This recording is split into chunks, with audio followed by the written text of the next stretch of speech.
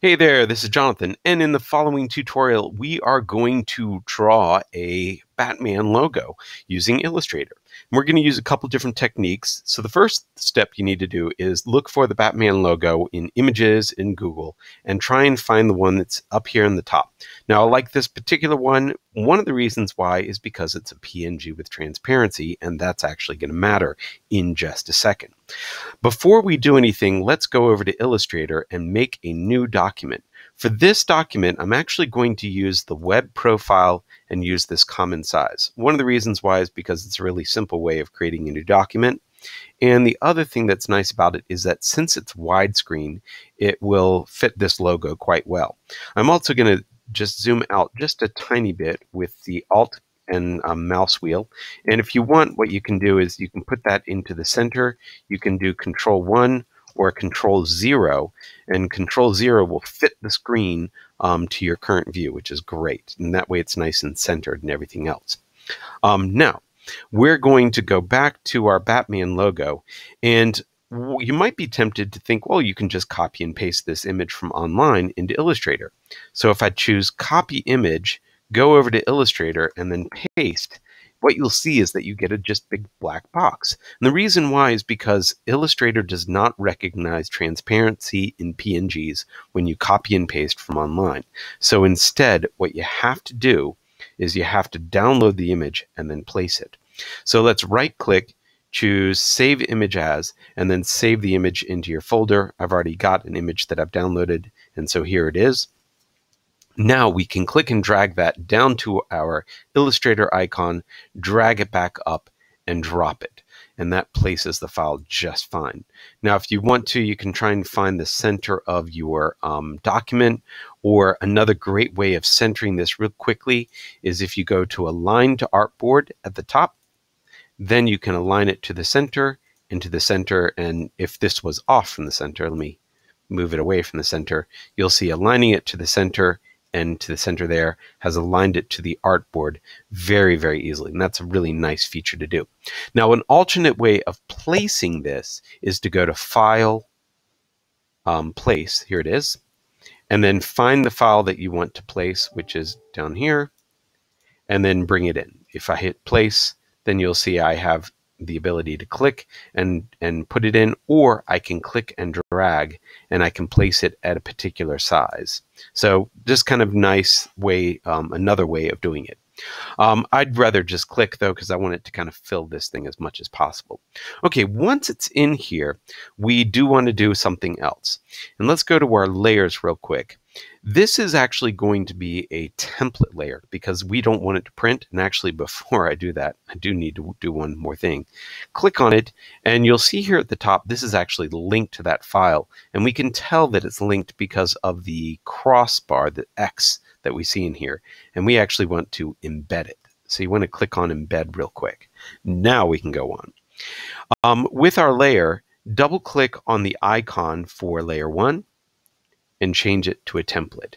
What this will do is dim the image, and now it will make it so if you were to print this document, you wouldn't be able to see this particular logo, which is great. Now, before I draw, I do want to set up a couple other things. One of the main things that I want to get is a center line for this logo, so I know when I draw things where that center is going to be. So I'm going to zoom up just a little bit, and I want to see right there and, and what I need to do is drag out something from the ruler to this, but I can't see the ruler yet. So we're going to right click, show the rulers. And if you try and drag out, you'll notice that I'm getting this pencil with um, a slash in it. The problem is, is that this is a single layer and it's locked. I can't add anything to it. So what we really need to do is create a new layer first. Now you'll see that I get my normal pen tool or my normal arrow tool. And now I can click and drag that guide out to the center of that line. Zoom out a little bit and you'll see that we're there. Now another thing that I can do is I can actually add other ones. So I can add one to that. I can add one to the outer edge and it's just helpful for us to know where those things are. I'm not going to worry about other ones at this point though. All right, now that we have those simple lines, um, I know that I'm going to do a couple copies of this. So I want to go to my artboards and I'm going to make a duplicate of this artboard next to it so that um, I can then do it again. If I go to artboards, if you just press on the, the new, you'll notice that all it does is create a new artboard next to it. It doesn't copy over the, the content. So I'm going to do Control Z to undo that. Instead, I might go over to the menu and duplicate the artboard. Well, it still does the same thing. And duplicate artboards are excellent because you can copy information from one artboard to another. However, you can't do it when the layer is locked. So you have to unlock the layer one, which is the Batman logo, go to your artboard, duplicate it, and I'm going to duplicate it twice. Then go back to your layer one and lock it. That way, you've made a duplicate of your layers, but you haven't um, you haven't changed anything. You've and you've got all the content, I guess, but you still have templates and all that. Okay. Anyway, let's go on with the first one. Now, one way of doing the um, the Batman logo is to use the shape builder tool. And so let's try that real quick. By using the shape builder tool, I might be able to draw a rectangle that would come out to be the size of this Batman. And one of the things about this rectangle is it might be important to go ahead and give it a nice, strong color for the stroke, but take away the fill so you can see through the object to what's below. After you've drawn a rectangle, you'll see it's not absolutely perfect, so I might snap it to that. Then we're going to go and draw an ellipse, and I want to draw an ellipse that kind of fits right in here. And if it's not great, then what we have to do is, after we've drawn it, go ahead and modify it until it kind of fits that shape as much as possible. You might even have to distort it just a little bit. You can rotate it. And let's just say that we get close enough. It doesn't have to be perfect. Um, although that's pretty bad. How about there? That looks a little bit closer. There we go. Now the next one, I'm going to duplicate this by alt dragging that particular one, and I'm going to stretch it out until it kind of fits that guy.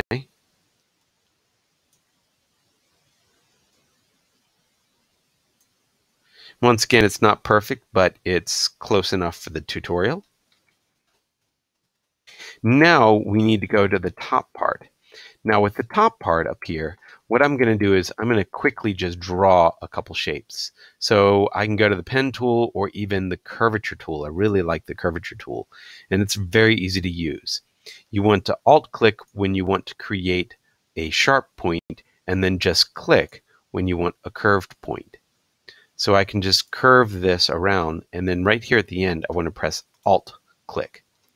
Then I'm going to go alt click here, alt click, alt click, and then alt click, go straight up, alt click, and then out here you can just click to select it. Now you'll notice this one right here isn't perfect, so I could drag that up a little bit.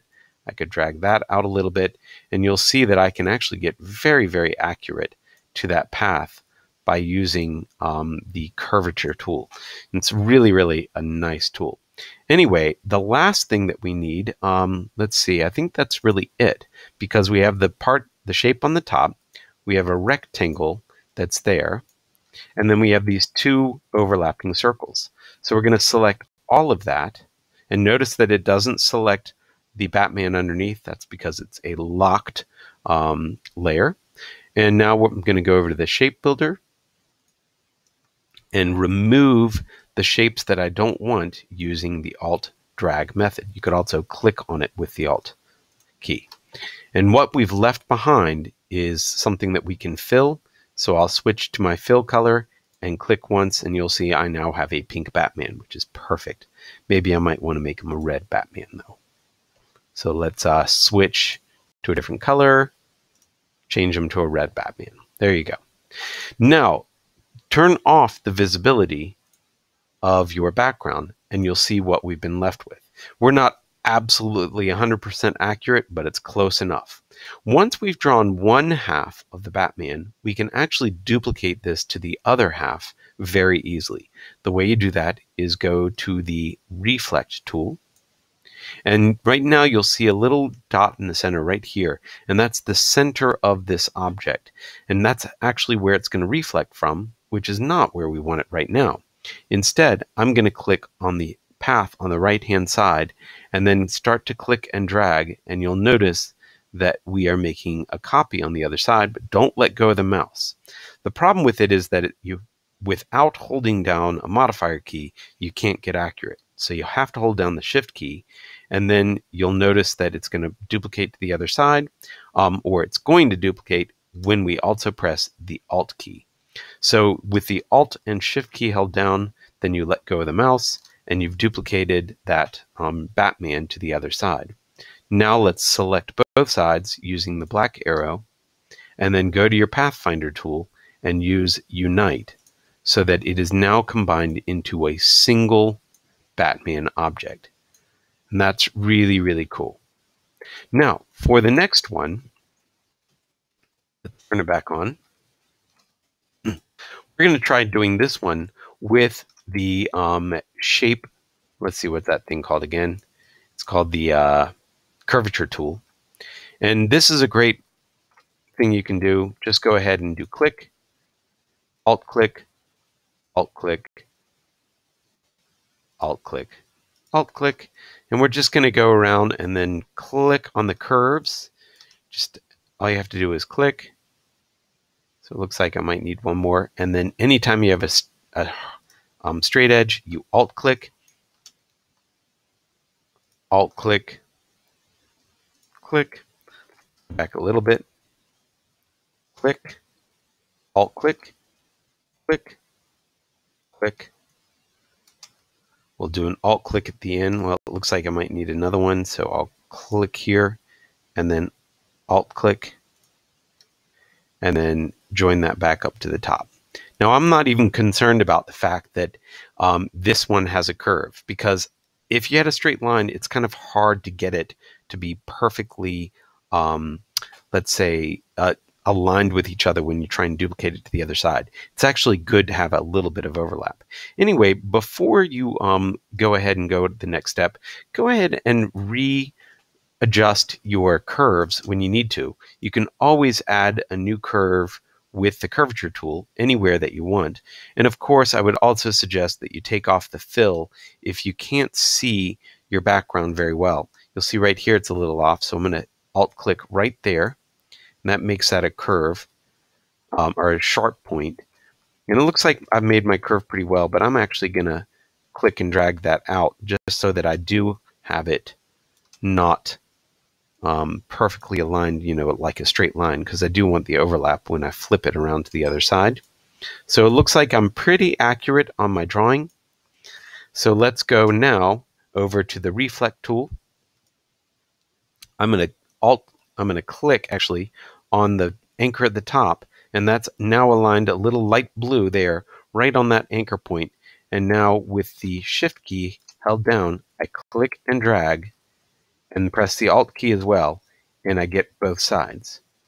Now you select both with the black arrow, go to your shape mode, and you can see the overlap that I have there, and let's unite that. And we should now be able to change our fill and stroke color. And we have a pink one again, so I might make it red. And you can see we have a finished Batman. Looks very much like the other one, but it was actually even more accurate because we redrew it. On this last one, here's the technique I want you to use. I want you to use the actual pen tool and see if you can get a little bit more accurate that way. So on this one, I can even get a straight line going right down by holding down the shift key. And now I'm making sure that I'm across that straight. I can go ahead and mimic that curve with the pen tool.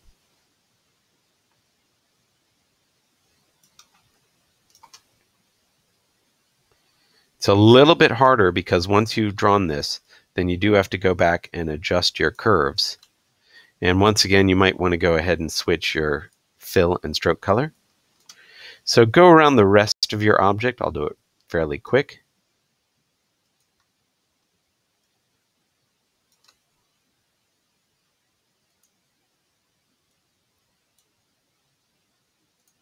I'm not going to worry about being too accurate. But that should be the end of my object. I've got a little bit here that I probably should adjust just to make that a little bit more accurate. But you can see I can maybe draw it with a few less points. And now what we're going to do is go back to it. Let's fill it real quick. Go to the reflect tool. Click on the edge or that point at the top with the what I always press down the Alt key, but you can just click on it once and then click and drag, holding down the Shift and the Alt to duplicate it to the other side. Then select both sides with a black arrow and use the Pathfinder Unite to make it a simple shape. And that's basically it. A few different techniques to be able to draw a Batman logo. Um, let me know if you have any questions. Do save your work at this point, um, putting your name on the file, and that's it. Thanks.